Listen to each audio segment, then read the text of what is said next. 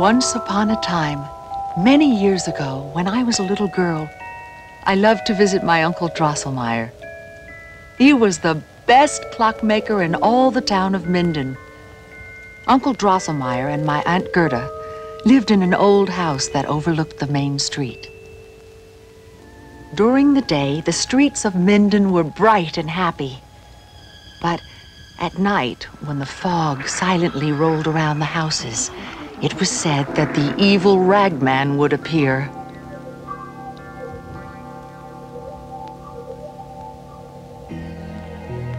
Aunt Gerda told me that he carried a bag over his hunched shoulders and was looking, always looking to fill it.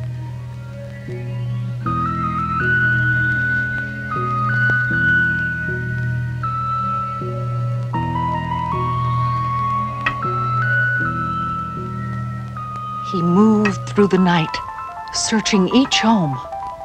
Beware the ragman if you stay up late. Watch out. Good children were safe, Aunt Gerda said, asleep and warm beneath their blankets. They had nothing to fear. But look out if you were awake past bedtime. The ragman would catch you.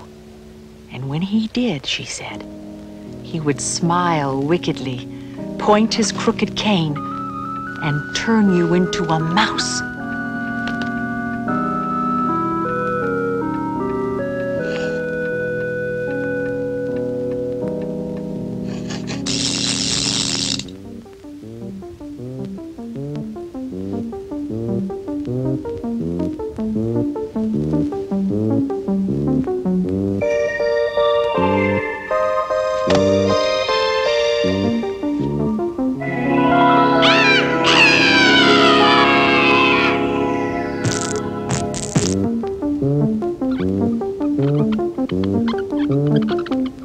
It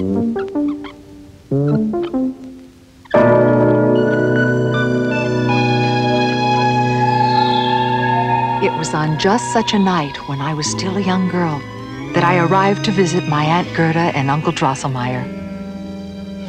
And I would never be the same again.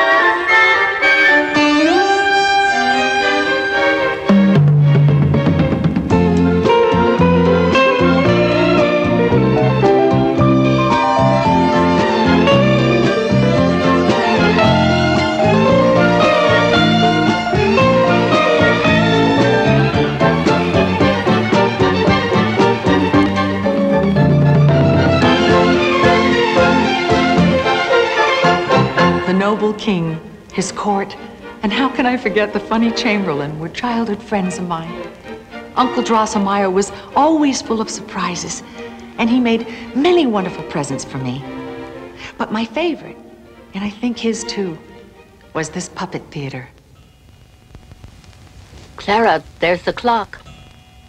If the ragman comes, you'd better be in bed. Besides, your puppets will be here in the morning. I know, but Fritz is coming here tomorrow, and I can't wait. Oh, Aunt Gerda, I'm so excited I could never sleep. Hmm. My Fritz. I wonder how he looks now. It's been such a long time. Uh-huh. I bet he's so handsome. Remember now, people can change when they go away. Don't set your heart too much on the past, my dear. Now you really must get some sleep. Enough dreaming. It's getting late. My Fritz. He'll never change. You know, he'll always be the same person I remember. Just think. Four years have passed. You know, I'm no longer little, and I've decided I'm not going to bed. I don't believe in the ragman. Auntie, did you understand what I said? I'm too grown up to believe. Oh, really? That's right. The ragman's not real. You can't scare me anymore. Enough of that. I want you in bed this instant. What if he came right now and caught you wide awake? Hmm.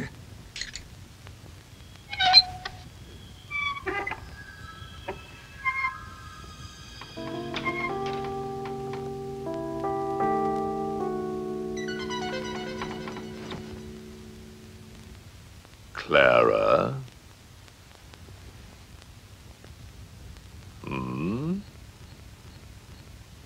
It's Uncle Drosselmeyer.